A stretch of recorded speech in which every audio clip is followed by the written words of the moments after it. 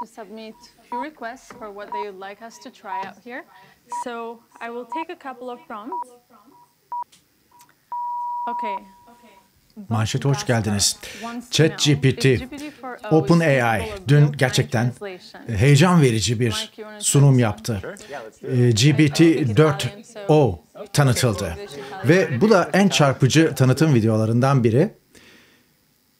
Kadın ve erkek canlı real time dediğimiz anında çeviri hizmetinden yararlanıyorlar yeni versiyonun. Kadın İtalyanca konuşuyor, erkek İngilizce konuşuyor ve ChatGPT uygulamada anında İngilizceyi İtalyanca'ya, İtalyancayı İngilizce'ye çeviriyor. Kadın İtalyanca soruyor. Anında ChatGPT İngilizceye çeviriyor. Adam İngilizce soruyor. Ve cihaz anında hiç beklemeden İtalyanca olarak şahane bir şekilde tercüme edip kıza bunu aktarıyor. Evet. Çok e, bir dakikada yeni versiyonun ne olduğunu ve neyi getirdiğini anlatan bir video. Sadece bu değil, pek çok şey var. E, siz de e, ChatGPT'nin OpenAI sitesine girdiğinizde e, bunu e, görebilirsiniz. E, onu ekrana getireceğim. Burada neler olduğu görülüyor. Yenilikler zaten videolarla anlatılmış. Mesela şu, e, şu videoda e, bir öğrenci bir geometri probleminde canlı destek alıyor. Pek çok örnek var. Konuşabiliyorsunuz karşılıklı olarak.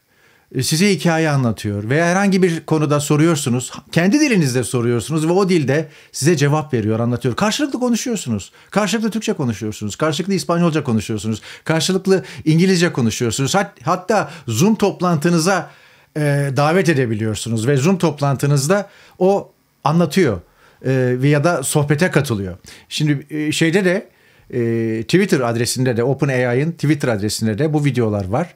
Bakın dilden anlamasanız bile e, bir İspanyolca, İtalyanca, İngilizce gibi örnekler var. Dilden anlamasanız bile, ne konuşulduğunu bilmeseniz bile şahane bir biçimde size gösteriyor. Kamerasını, kameraları karşılıklı olarak açıyorsunuz ve gösterdiğiniz yer hakkında mesela şurada bir binayı gösteriyor kamerada ve o bina hakkında size anında bilgi veriyor filan. Acayip bambaşka bir yere gitti e, bu dünya ve bu dünya e, belli ki e, şu anda emekleme aşamasında falan deniyor ama bence yürümeye başladı. Çok yakın bir gelecekte yani aylar içerisinde filan koşacak. Bambaşka bir noktaya gidecek. Evet çevirmenler çevir, çevirmenlerin e, bir, bir yönüyle dönemi tamamlanıyor ve artık bu tür cihazlarla insanlar anlaşacaklar ve profesyonel olarak da artık çevirmenlik bitiyor olacak. E, son e, çevirmenlerle galiba e, haşır neşiriz ve herhalde birkaç seneye onlar da kalmayacaklar. Böyle bir durum var. Yani bu çevirmenlik meselesi anında tercüme falan meselesiyle gündeme geldi ama hemen pek çok konuda problem çözmeden işte dediğim gibi e, turist rehberliğine kadar pek çok şey söz konusu. Şimdi dönelim Türkiye iç siyasetindeki sıkıcı gelişmelere. Dünyada çok iyi bir şey oldu. Onunla gireyim dedim. Bir iki dakika onu anlatayım dedim. Fakat dönüp Türkiye'ye baktığınızda içiniz kararıyor. Dönüp Türkiye'ye baktığınızda ya dünya binmiş bir yere giderken şu ülkenin başındaki insanlara bak. Zevzek zevzek konuşuyorlar. Sersem sersem açıklama yapıyorlar ve acayip bir it dalaşı içerisindeler. Bir mücadele içerisindeler, bir inatlaşma içerisindeler, mevzi kapma yarışı içerisindeler ve devlet içi çarpışma hep oldu ve bu da, bu dönem zannediyorum en yüksek seviyede, en şiddetli seviyede devlet içi çatışma şu son dönemde e, artık patlama noktasına geldi. Yüksek gerilim var, yüksek bir gerilim var. E, Erdoğan Bahçeli'nin ipini mi çekiyor? MHP köprüleri mi atıyor? İç darbe, Ankara'da iç darbe lafları var. İç darbe konuşuluyor filan. İşte MHP lideri en son grup konuşmasında bayağı bir esti üfürdü. Boyun eğersek boynumuz devrilsin dedi ki neden? İşte bu Ayhan Bora Kaplan soruşturması ve o soruşturma çerçevesinde görevden alınan 3 emniyet müdür yardımcısı Ankara'da. Bu operasyona ilk defa üst perdeden itiraz etti ve e, parmak salladı yani kendince e, ve bunun yayınlanması e, bu konunun deşelenmesi, eşelenmesi ve bu konunun deşilmesi tam tabiri bu. E, onun işine gelmemiş görülüyor. Gazetecilere de parmak salladı. Bak dedi bu konuya girenleri biz bundan sonra yargı paketi de geliyor. Etki ajanlığından içeri alacağız falan.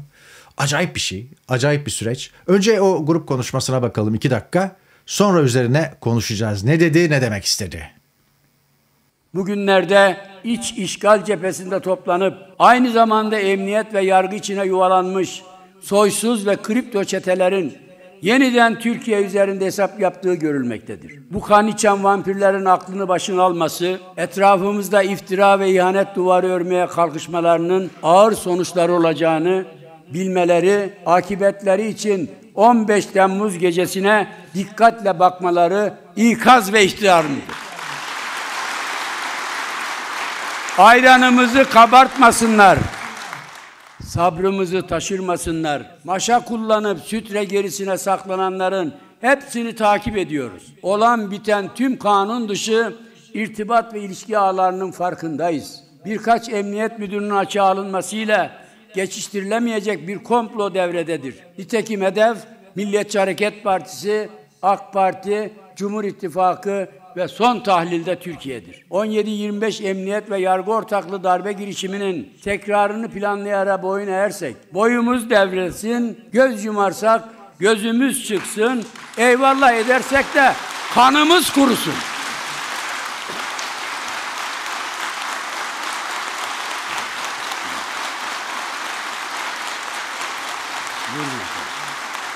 Gizli tanık ifadeleriyle şerefli isimleri karalama kumpasını ve tecelli eden millet iradesini gölgeleme arayışını himaye eden ve buna hizmetkarlık yapan kim varsa haindir, haşhaşidir, emniyet ve yargı ve medya uzantılarının tepesine binilmelidir.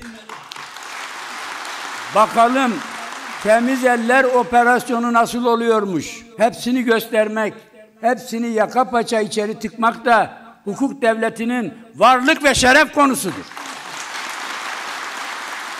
Meclis gündemine gelecek olan 9. yargı paketinde casusluk suçu ile ilgili yeni düzenlemeden rahatsız olanlar çok iyi araştırılıp incelenmelidir. Yurt içinden ve yurt dışından hain FETÖ'cülerin onlara sözcülük yapan satılmış, devşirilmiş sözde gazetecilerin bedel ödemesi yakındır ve kaçınılmazdır. Böyle gidiyor. E, Dikkatinizi çekiyor mu? Yani gizli tanık ifadesiyle filan diyerek gizli tanıklık müessesesini mahkemede ki vardır bu dünyada da vardır. Hemen e, ne bileyim çürütmeye çalışıyor. Yani işine geldiğinde gizli tanık ifadeleriyle birilerini topluyorlar ki bunu 8-10 yıldır yaptılar. Şimdi de gizli tanık kendilerine dönünce bu sefer de oradan ayrıca ya burada bir operasyon falan var deyip gizli tanık ifadesi kalem alınırmış ki canım falan diyorlar yani acayip. Bir de şeyi kabul etti. Geçtiğimiz hafta Yeni Şafak gazetesinde bir kulis haberi olarak çıkmıştı. Yargı paketinde 9. galiba yeni yargı paketinde etki ajanlığı e, suçu tanımlanacak ve artık e, ülke aleyhine artık kafası estiğinde her tweet'i, her açıklamayı, her yayını, her lafı sen işte etki ajanlığı yapıyorsun, filan yere çalışıyorsun, sen bu ülkenin bekasında işte büyük bir tehditsin e, filan deyip e, alacaklar. Onu da kendi ağzından e, kabul etmiş oldu. Onu, onu da kabul etmiş oldu. Fakat şimdi sadede dönmek gerekirse e, son Ayhan Burak Koplan e, soruşturmasında bir komplo devrede 17-25 girişiminin tekrarı planlanıyor dedi. Yani içeride bize yani 17-25'i darbe olarak tanımlıyorlar ya rüşvet yolsuzluk soruşturmasını. Bu işte cemaatin bir rüşvet yolsuzluk soruşturmasıydı. Bunu cemaate e, yakın polisler ve savcılar yaptılar ve hükümeti devirme amaçlıydı. Ondan dolayı işte bu bir darbe girişimidir gibi sunuldu. Hala da bu devam ediyor. Karşı mahallede bunu aldı satın bunu aldı kabul etti. Şöyle dedi. Yani evet bu dosyanın içindekiler doğrudur fakat bu bir hükümeti devirme girişimidir. Biz bu işe girmeyiz. Yani dosyayla ilgilenmediler, soruşturmayla ilgilenmediler. Bunun hükümete karşı bir hareket olduğunu düşünüp e, bu konulara biz basmayalım hiç dediler. Bu konulara hiç girmeyelim, bu tellere basmayalım. Yesinler birbirini, birbirlerini dediler. Karşı mahallede böyle baktı ki 10 yıldır böyle geldi. Ama herkes biliyordu yani bu işin çok iyi bir soruşturması yapılmış, delillendirilmiş, hiçbir delili çürütülmemiş bir dosya olduğunu. 17-25'te ne üretilmiş delil iddiası vardır ne çürütülmüş delil söz konusudur. Hepsi. Herkes zaten baştan aşağı herkes her şeyin doğru olduğunu biliyor. Girmediler çünkü bunu bir hükümet değişikliği manevrası, hükümeti değiştirme hamlesi olarak gördüler. Biz bu işe girmeyiz dediler. Halbuki gazetecilikte, siyasette e, elbette motivasyonun ne olduğuna bakar. Fakat ortaya çıkan dosya ona bakar, ona da bakar. Yani onun ne amaçla ortaya döküldüğünün bir önemi yoktur. Kapa parantez. Şimdi e, bunu hatırlatmasının nedeni şu. Benim de bu kadar açık anlatmamın nedeni şu. O gün diyor böyle bir hamle yapıldı. Doğru bile olsa böyle bir hamle yapıldı ve bu hükü, hükümet değişikliği projesiydi. Şimdi de hükümete bir hamle var diyor. Yani benzer bir şekilde içeride bir e, 17-25 vurgusunun yapması da o.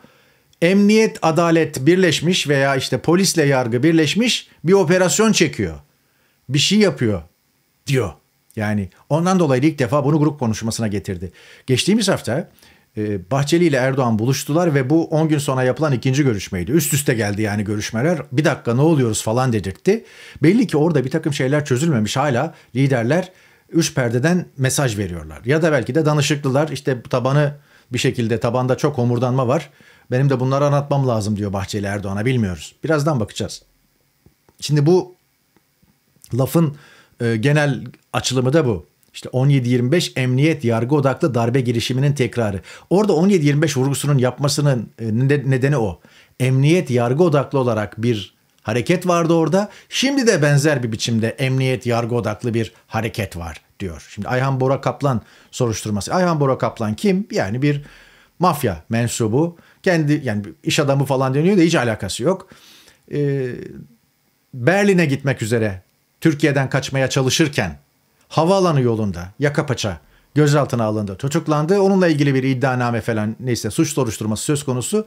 O arada bir gizli tanık ortaya çıktı. O gizli tanık da ne bileyim ayağında, e, ayak bileğinde e, elektronik kelepçe, e, ne e, ev hapsi filan kararı olmasına rağmen o kelepçeyi atıp yurt dışına kaçmayı başardı. Ki işte bu işlerin nasıl olduğunu bilmiyoruz. Bu işler böyle oluyor. Her neyse onun ifadeleriyle, onun ifadeleri üzerine Ankara'da 3 polis müdürüne operasyon düzenlendi. Dün ev araması yapıldı. Açığa alındılar görevden filan. Şimdi bu e, özellikle AKP medya, e, MHP arasında e, emniyet ve yargı paylaşımında sorunların, artarak gelen sorunların dışa vuran tarafı oldu. Patladığı, iltihabın patladığı nokta oldu. Evet. Erk Acarer ve e, gazeteci meslektaşımız Cevheri Güven'in bu konudaki videolarını takip ederseniz son birkaç haftada yayınladıkları videoyu bu olaylarla ilgili geniş anlatıma ve belgeli e, yalanlanmamış doğru verilere ulaşırsınız. Türkiye'de kimse bu konulara giremiyor. Çünkü işte etki ajanlığı da geliyor. Silivri soğuk. Sabrımızı taşırmasınlar dedi. Yani burada e, gerçekten büyük bir gerilim var zirvede. Ayranımızı kabart, kabartmasınlar, sabrımızı taşırtma, taşırmasınlar. Yani e, bu birkaç emniyet müdürünün açığa alınmasıyla geçiştirilemeyecek bir komplo. E, büyük bir gerilim. Acaba e, bu gerilim ortaklığı bitirir mi? AKP-MHP ortaklığı biter mi? Bahçeli'nin defalarca tekrarladığı bir şey. Cumhur İttifakı işte ebede kadar yaşayacaktır, sonsuza kadar yaşayacaktır, bitmez, bitirilemez filan gibi. Erdoğan'ın da buna yakın lafları var bu kadar keskin olmamakla birlikte. Fakat ittifak çok ağır bir e, kendi içinde sınavdan geçiyor. Öyle söyleyebiliriz. Erdoğan Bahçeli'nin ipini çekerse ne olur? Bahçeli Erdoğan'ın ipini çekerse ne olur? Veya karşılıklı olarak birbirlerinin ipini çekmeye muktedirler mi? Erdoğan bunu yapar mı? Yapabilir mi? Bahçeli bunu yapar mı? Yapabilir mi? Şimdi e, Bahçeli bir koalisyon ortağı. Adı konulmamış. Yeni yasada ve işte sistemde koalisyon kelimesi geçmiyor ama koalisyonla yönetiliyor ülke şu anda. Siyasi olarak sorumluluk almıyor. Kabinede bir tane bakanı yok. Ama e, emniyet ve yargıda özellikle ciddi bir paylaşım söz konusu ve ülkücü kadroların belli koltukları doldurması söz konusu. Hatta kimi ülkücü kadrolarda filan filan cemaatin artık adı geçen cemaatlerin kisvesi altında veya ne bileyim şapkası altında orada kadrolaşmış durumdalar. 15 Temmuz vurgusu da enteresan. Kripto çeteler Türkiye üzerine hesap yapıyorlar. Akıbetleri için 15 Temmuz'a dikkatle bakmaları. Yani e, orada da bir orada biz bir şeyi değiştirdik. Sonra da başkanlık sistemi geldi bilmem ne. Ve benzer bir operasyon, benzer bir darbe girişimi veya iç darbe girişiminden hareketle bu konuda bir kalkışma var deyip gene biz kadroları biçebiliriz. Gene üstlerinden geçebiliriz vurgusu. Yani 17-25'ten sonra 15 Temmuz vurgusunun da sebebi bu. Yani 15 Temmuz'da o yapıldı zaten. Devlet içinde rahatsızlık duydukları, başkanlık sistemine yürüyemeyecekleri, başkanlık sisteminde dikensiz bir gül bahçesi istedikleri için, dikensiz bir Türkiye istedikleri için o dikenleri temizlemeleri gerekiyordu. Ve Kürt siyasal hareketinden cemaate, barış akademisyenlerine hemen her konuda tam anlamıyla ceberrut, otokrat bir rejimi inşa ettiler 15 Temmuz bahanesiyle. Benzer bir darbe girişimi bahanesiyle bunu yapabiliriz, üstünden geçeriz. Sabrımızı taşırmasınlar, ayranımızı kabartmasınlar derken kastettiği o. Evlerinde arama yapılmış. Ankara Emniyet Müdürü Yardımcısı Murat Çelik, Organize Suçlarla Mücadele Şube Müdürü. Kim bu emniyet müdürleri derken onların isimlerini söylüyorum. Kerem Öner ve e, yardımcısı Şevket Demircan. Bir de gizli tanık Serdar Sertçelik'in Ufuk Komiser diye açıkladığı bir personel. Onun evlerine polis baskını yapıldı dün. Arama yapıldı. Gözaltına alınmadıkları bilgisi var. Gözaltına alındılar gibi bir şaya çıkmıştı ama öyle bir bilgi var. Üç polis müdürü Murat Çelik, Kerem Öner ve Şevket Demircan'dan bahsediyoruz. Bir de Ufuk Komiser diye biri. Neyse. Ee, Cevheri Güven bu gelişmeleri Bahçeli'nin açıklamalarını alıntılayarak Bahçeli bu açıklamalarıyla Ankara Emniyetini ve Ali Yerlikaya'yı sarsan son operasyonu Ali Yerlikaya İçişleri Bakanı son operasyonu bizatihi MHP'nin yönettiğini net biçimde ortaya koydu diyor. Alican Uludağ ise polislerin e, gözaltı polislere gözaltı işleminin yapılmadığını, sadece polislerin evlerinin arandığını söylüyor ve elde edilecek deliller gözaltı olup olmayacağını belirleyecek diyor. Bu arada Sabah gazetesinin bugün iç sayfasında küçücük bir haber yayımlandı. Hükümete yakın medya bu konulara hiç girmiyor. Yani basılı gazetelerde yok göremezsiniz ama Sabah gazetesinin iç sayfasında bu haber yayınladı. Serdar Sertçelik. Gizli tanık yapılmıştı Ayhan Porakaplan e, meselesinde. İşte burada Ankara Emniyeti'nin Ayhan Bora Kaplan suç örgütüne yaptığı operasyonun iki numaralı ismi Serdar Sertçelik ile ilgili yeni deta- detaylar ortaya çıktı filan diyor. Ev hapsindeyken 9 kez ihlalde bulunmuş. Bu ihlallerden birinde de yurt dışına kaçmış. Yani göz göre göre e, ayak bileğinde kelepçe varken 26, 30, 31 Eylül, 1, 2, 19, 20, 21 ve 27 Kasım tarihlerinde toplam 9 kez konutunu terk ettiği belirleniyor. Ve bütün bu ihlallere göz yumuluyor. Sonrasında 9. da çıkıyor. Evet. Enteresan. Halk Bankası Genel Müdürü'nün 17-25'te ayakkabı, ayakkabı kutularından e, fırlayan paraları imam hatip yaptıracaktım diye açıklamasına inanıyorsunuz da. Ayhan Bora Kaplan'dan 300 bin dolar rüşvet alan polisin menzil için topluyordum demesine niye inanmıyorsunuz diye sormuş Erk Acerer. Evet bu konu çok su kaldırır. O arada Yargıtay 1. Başkanlığı seçim sonucu 37. E, turda galiba sonuçlandı. Seçim sonuçlandı ve e, Ömer Kerkes seçildi. E, Mehmet Akarca 103 oy kaldı. Ömer Kerkez de 175 oy galiba alması gerekiyordu. 193 ile seçildi. 8 oy boş, 20 oy da geçersiz. Bu bununla da ilgili çokça şey var. E, spekülasyon var. İşte şeydir bu yok menzilden mi hangi cemaatten ülkücü mü yok sosyal demokrat Atatürkçü diyen var. Kemalist solcu diyen var. var oğlu var. Hiçbirine girmeyeceğim. Acayip. İşte yani ülkede yargının hali pürmelali geldiği nokta. Yani acayip acayip bir noktadayız yani kesinlikle. Enteresan e, istihbarat iltisaklığı yakın e, e, Emre Erçiş galiba onun e, hesabından bir video paylaşıldı. Sinan Ateş'in vurulma anı sızdırıldı. Belli ki istihbaratta bu vardı veya artık nerede varsa zaten bir ekrandan çekilmiş görülüyor. Burada Sinan Ateş ve yakın iki koruması veya şeysi arkadaşı Selman Bozkurt, Ahmet Kekiç birlikte yürürlerken tam Sinan Ateş'in vurulma anı var. Burada saldırı anı ve düşüyor. Sonra da iki koruması uzaklaşıyorlar. İlerleyen saniyelerde korumalardan biri Sinan Ateş'in yanına gelerek e, onun e, silahını alıyor ve belinden silahını alıyor Ahmet Kekiç, Keçik daha doğrusu ve tetikçinin arkasından ateş ediyor. Görüntüler böyle. ilginç, enteresan, e, sıcak. E, burada da yani Sinan Ateş olayında da MHP fena halde sıkışmış durumda ve iktidar cephesi e, bu taraftan da bir biçimde önce soruşturmanın kapağını açtı, iddianame çıktı, sonra MHP ile anlaşıldı, iddianamede MHP ile ilgili unsurlar veya ülke ocakları ile ilgili unsurlar ayıklandı ama artık e, macun tüpten çıktı bir kere. İş nereye gidecek bilmiyoruz. 1 Temmuz'da yargılama var ama Mustafa Okumuş eski bir emniyet amiri olarak enteresan konulara dikkat çekmiş. Görüntüleri izleyerek e, biliyorlar işler işin uzmanı çünkü. Diyor ki tetikçi Eray Sinan Ateş'i öldürdükten sonra Sinan'ın yanındaki bodyguard Ah- Ahmet Ke- Keçik'e ateş ederek olay yerinden kaçıyor. Ahmet de Eray'ın arkasından ateş ediyor. Atışları da çok nizami. Bu adam istihbaratçı mı MİT görevlisi mi? Saklamaya çalıştığı tabancalar kamu malı mı? Yakın mesafeden öldürülmeye çalışıldığı halde Ahmet neden müşteki yapılmamış? Hatta hadi müşteki yapmadınız. Bari tanık ifadesi koysaydınız iddianameye bu adamın açık kimliği neden saklanıyor demiş. Güzel sorular ama ne olacak bilmiyoruz. O arada yargıyla başladık onunla devam ediyoruz. Osman Kavala konusunda yeniden yargılama başvurusunun bu hafta içinde karara bağlanması bekleniyordu. Davaya bakan 13. Ağır Ceza Mahkemesi hem Gezi Parkı davasına hem de Osman Kavala dosyalarına bakıyor. 13. Ağır Ceza Mahkemesi'nde heyet değişmiş. Yani bir heyet koyuyorlar.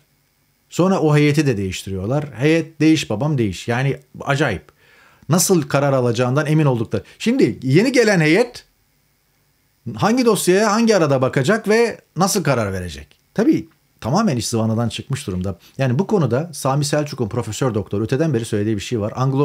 Anglo-Sakson hukukuna örnek vererek bir hakim bir davaya bakıyorsa sonuna kadar o davaya bakar.